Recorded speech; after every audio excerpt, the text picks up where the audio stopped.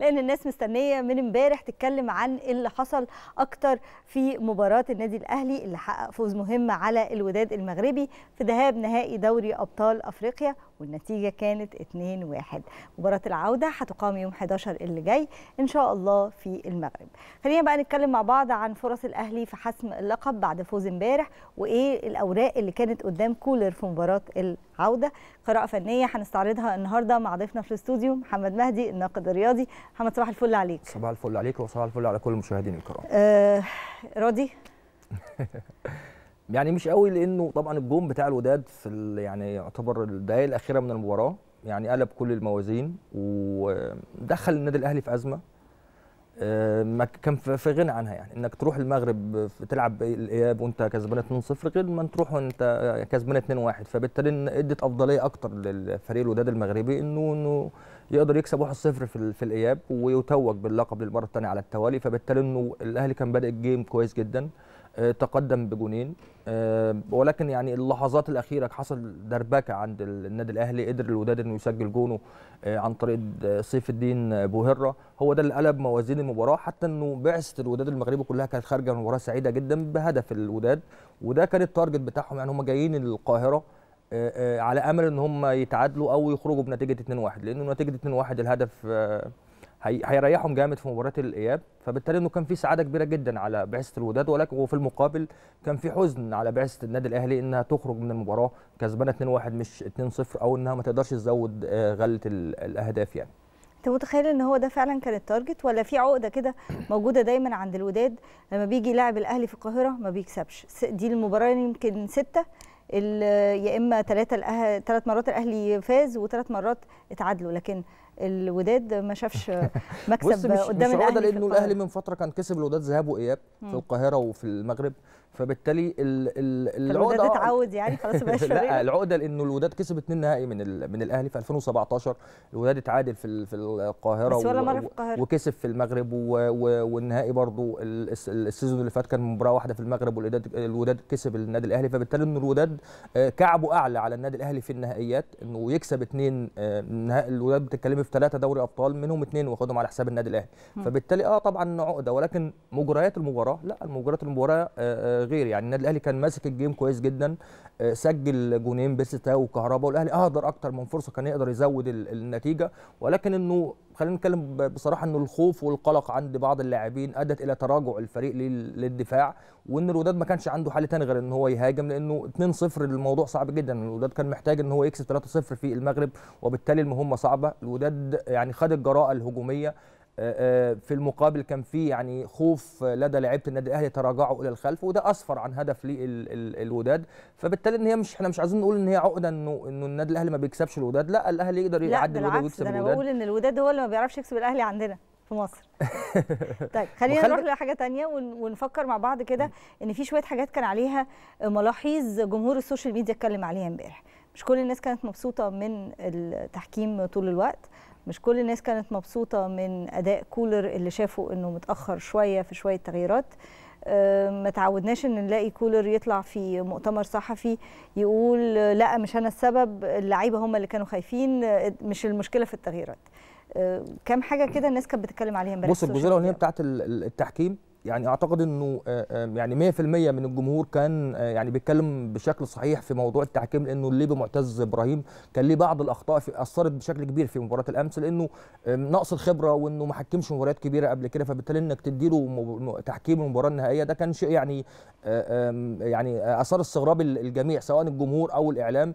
إنه إزاي حكم لسه صغير وإنه ما خدش قبل كده تجارب كبيرة إنه يحكم ماتش مهم وفي حساسية كبيرة بين الأهلي وبين ال ال الوداد بخصوص النهائي بتاع ال season اللي فات. فبالتالي كان عنده أخطاء كتيرة جدا. حتى خبراء التحكيم كلهم اتكلموا بالأمس في موضوع الأخطاء التحكيمية يعني بعيدا حتى عن ال social media إنه الأهلي لأ كان ليه ضربتين جزاء وإنه أحد لاعبي الوداد يحيى عطية طلع إنه كان يستحق الطرد وليس البطاقة الصفراء الكره اللي بلمسه اليد لأنه يعني منع النادي الأهلي من من هدف ثالث محقق. الاخفاق فبالتالي إن الأخطاء كانت واضحة جدا وإن المباريات الحاسمة دي لا تحتمل إن أخطاء كتير. يعني ممكن يبقى عندك خطأ اثنين ولكن يبقى ثلاث أربع خمس أخطاء في مباراة نهائية. ده بتأثر طبعا على نتيجة المباراة طبعا. بتحجم لاعبي الفريق بشكل كبير جدا. إحنا حتى شفنا إن لعيبة النادي الأهلي كلها بتعترض على الحكم المباراة في مباراة الأمس. الجهاز الفني كان بيعترض على حكم المباراة. فده يديك انطباع إنه لا الحكم ما كانش فير في مباراة ال- الأمس. الحكم كان ضد النادي الأهلي في بعض القرارات. إن الحكم حرم النادي الأهلي من ضربتين جزاء واضحين إن كل الناس اتكلمت فيها. سواء سوشيال ميديا أو خبراء آه، آه، تحكيم.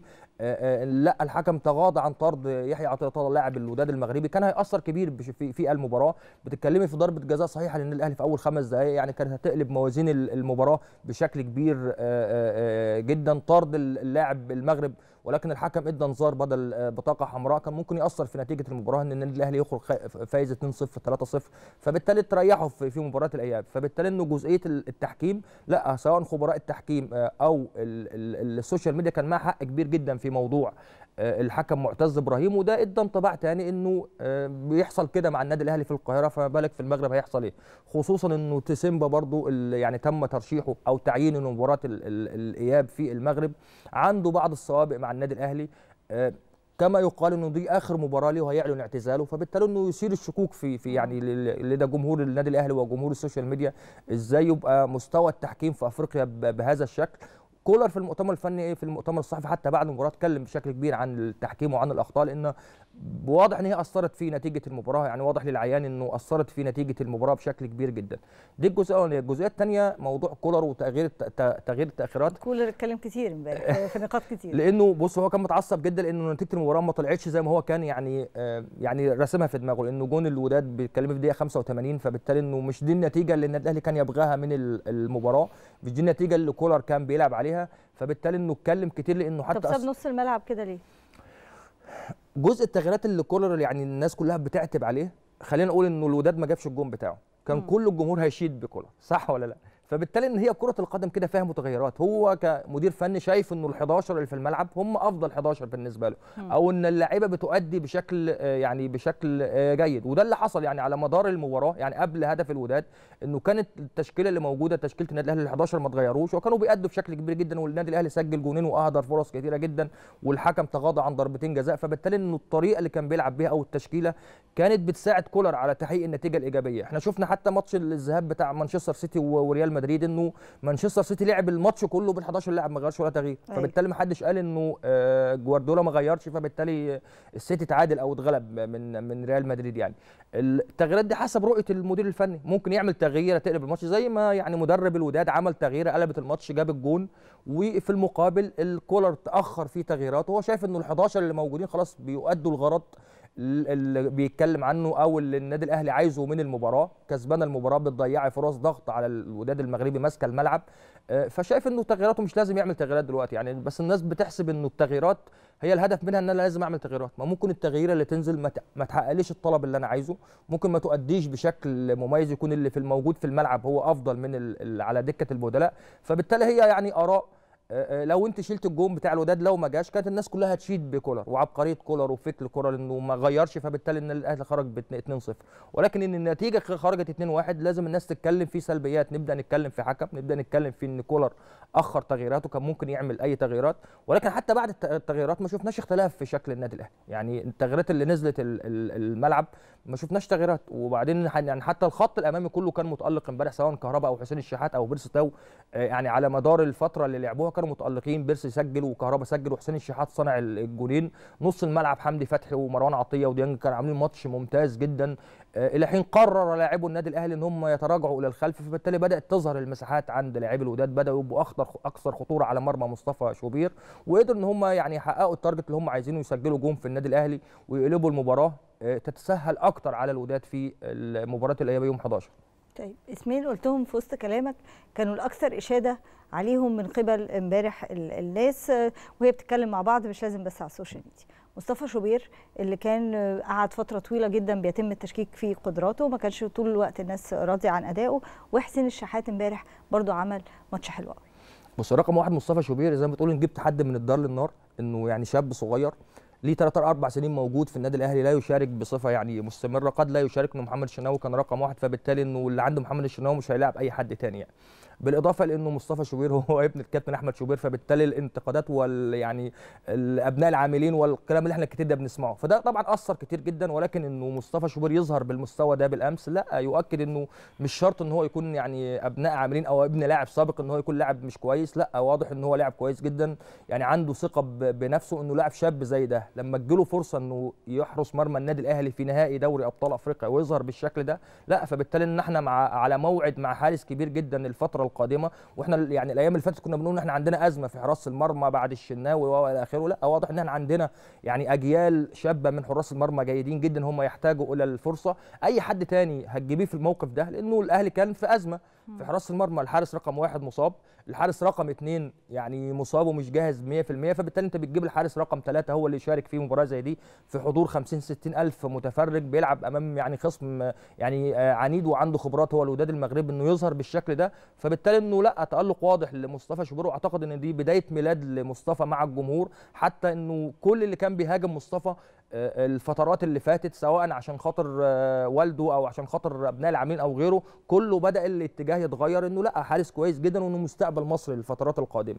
الجزئية الثانية حسين الشحات من فترة كبيرة جدا حسين الشحات إنه كان في انتقادات كبيرة جدا لحسين الشحات ولكن واضح إنه مركز جدا مع النادي الأهلي في دوري الأبطال وفي الدوري المحلي حتى في كأس العالم للأندية ويرجح كافة النادي الأهلي بشكل كبير جدا في المباريات سواء في صناعة الأهداف أو في تسجيل الأهداف. وده بيقول لحضرتك إنه يعني الجمهور طول الوقت ممكن ياخد فترة ينتقد حسين الشحات بشكل يعني مبالغ فيه. ثم إنه يتألق حسين فبالتالي الناس تشيد بحسين الشحات. هي دي الكورة طول الوقت ما فيش حد يعني يعني طول الوقت إنه بيشيد بحد والفترة اللي بعدها لأ مكمل. إنت هتلعب كويس وهتسجل هتصنع هتساعد فريقك فالناس كلها هتشيد بيك. لأ مستواك هيتراجع. الناس كلها تنتقدك زي اللي حصل مع قفشه قفشه خد فترة كان رقم واحد في النادي الأهلي أو بل رقم واحد يعني في منتخب مصر الفترة اللي فاتت لما تراجع مستواه. يعني وجد انتقادات كتيرة جدا من جمهور النادي الأهلي قبل يعني مختلف الجمهور يعني. فبالتالي إنه تألق حسين الشحات من فترة مش مباراة الأمس بس كانت المفاجأة بالنسبة لنا امبارح كلنا هو تألق مصطفى شوبير طبعا. أكيد. إيه اللي هيحصل يوم الأحد الجاي؟ 11 يونيو إن شاء الله في مركب محمد الخامس في كازابلانكا بص ماتش صعب جدا لأنه الحضور الجماهيري في في مركب محمد الخامس يعني ليه تأثير بشكل كبير جدا في نتيجة المباراة لأنه يعني الجمهور هو روح الفريق. الحاجة الثانية إنه الوداد كان عارف نفسه جاي بيعمل إيه في القاهرة فبالتالي إن حقق نتيجة إيجابية وحقق اللي هو عايزه. حتى مدرب الوداد اتكلم بعد المؤتمر الصحفي قال أنا سعيد للنتيجة لأن إحنا جايين مركزين على على الهدف ده. لو ما قدرناش نتعادل مع النادي الأهلي فإحنا نقدر نخرج من المباراه يعني خسرانين 2-1 أو نقدر نسجل جون فبالتالي هيساعدنا في مباراة الإياب. فبالتالي إن الوداد محدد وجهته ولكن القصة في النادي الأهلي. النادي الأهلي عايز إيه من الوداد في مباراة الإياب؟ رقم واحد إن القصة مش مستحيلة لأن النادي الأهلي في 2006 و2012 كان متعادل في القاهرة وقدر يكسب في تونس حله وقدر إيه يوم الاحد يتعادل ولا يفوز؟ ولا طبعا الفوز يرجح كفة الأهلي التعادل يرجح كفة الأهلي. فبالتالي النادي الأهلي عنده حلول. النادي الأهلي عنده حلول إنه في أول ربع ساعة من المباراة الوداد بكل طاقته وبكل لاعبيه وبكل جمهوره هيبقى هدفه تارجته إنه يسجل جون في النادي الأهلي م. عشان يقدر يسيطر على المباراة. لو النادي الأهلي استغل الفترة دي إن هو يقدر يسجل هو في الوداد الاندفاع اللي هيكون بالظبط الاندفاع الهجومي للوداد وإن النادي الأهلي يرد يسجل هدف في الوداد في بداية المباراة أعتقد هيصعب الأمور بشكل كبير جدا على لاعبي الوداد وهيصعب الأمور على جمهور ال ال الوداد وهيدي ثقة للاعيبه النادي الأهلي إن هم يقدروا يكملوا المباراة وسط ضغط كبير جدا من الجمهور. فبالتالي النادي الأهلي عنده حلول وعنده لعيبة قادرة على ال على المجاراه مباراه لاعبي الوداد والتتويج بالبطولة وعندهم خبرات إفريقية كبيرة جدا بشكل كبير جدا. وعندك النادي الأهلي يعني كل الفريق ما عندكش فيش ولا مركز فيه فيه مشكلة في النادي الأهلي. عندك يعني مهاجمين قادرين على صناعة الفرص وقادرين على تسجيل الأهداف. وشفنا الفترات اللي فاتت إنه بيقدروا إن النادي الأهلي يعني شفنا في 2006 النادي الأهلي كل الناس راحت في تونس وقال لك لا الأهلي مش هيعدي وقدر يعدي وقدر يكسب البطولة. في 2012 نفس القصة قدر يكسب البطولة. ده اللي بتعمله المؤسسات الكبيرة ده اللي بتعمله الناس اللي عندها خطة عمل وخطة تدريب للاعبتها والاستثمار في لاعبيها.